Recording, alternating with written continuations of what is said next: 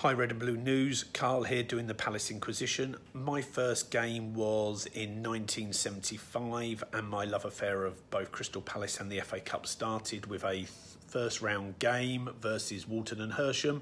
Uh, Palace won 1 0, uh, but as a, as a young seven year old, I was already uh, absolutely blown away by the atmosphere. Stood on the halfway line on the Arthur Wait, down the side and just even just the the crowd experience of walking up to the ground carried over the turnstile by my old man so I think I was already dodging pain there my favourite Palace player is uh, Jim Cannon. I saw more of him through my childhood than I saw of my parents. He was there at my first game, that Walton Hersham game.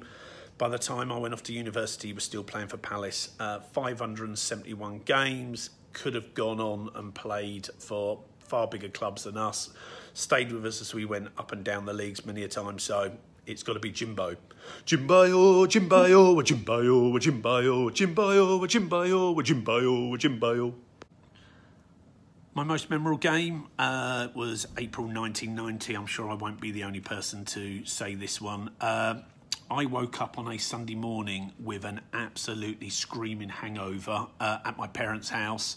Uh, having been to see the Happy Mondays uh, with Paul Oakenfold DJing the night before, I absolutely, I even contemplated not going to the game. I felt that lousy, but uh, fortunately wasn't on driving duty and was dragged to Villa Park to see uh, Palace 4, Liverpool 3, FA Cup semi final. Uh, I was there at the 9 0, and so it, it meant, I think it, it meant so much to any Palace fan, but if you were there for the humiliation of that 9 0, then it really did mean something else. I'll never forget that feeling of tumbling down the uh, the whole end, literally in just limbs and bodies in some of the greatest celebrations. Uh, the celebrations for the first probably even first goal felt even bigger than the uh, for the fourth goal. Just absolutely amazing.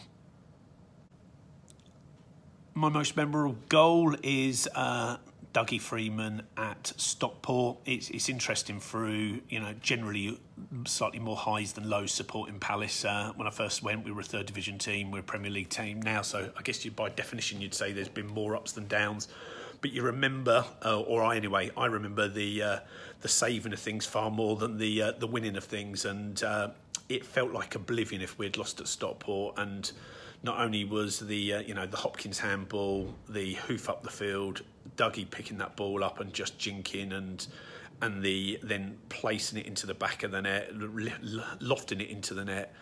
The pitch invasion, they're just absolutely amazing. The timing incredible. I mean, I, you know, that uh, Ambrose gets high up there for uh, for both the, his goal at Man United and his saving goal at Sheffield Wednesday, but Dougie Freedman's wins it for me.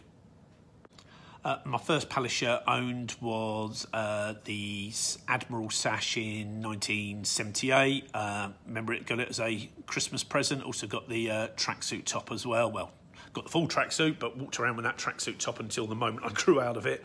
Uh, it was uh, typical red and blue sash coming over. We had the little red stripe going down, big yellow uh, Umbro logo there from memory. Absolutely loved it to bits. Always have a soft spot for the sash, as I know most Palace fans do.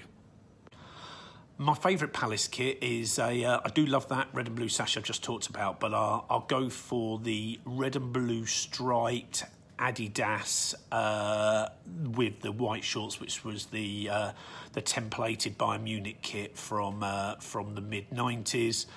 Uh, you know, I see Matt Jansen banging in goals wearing it. I, by the same token, also love the the Brazil as well. The first time around of the Brazil kits, just because it was that little bit different from a Palace side. But yeah, red and blue, white shorts, white socks, looked fantastic.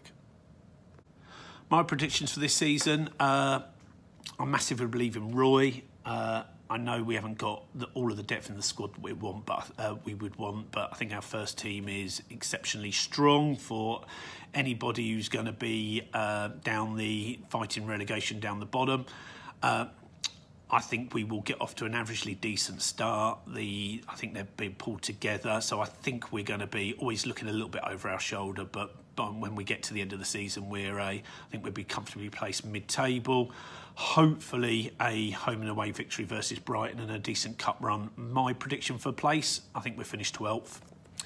Come on, you Palace. Get in there.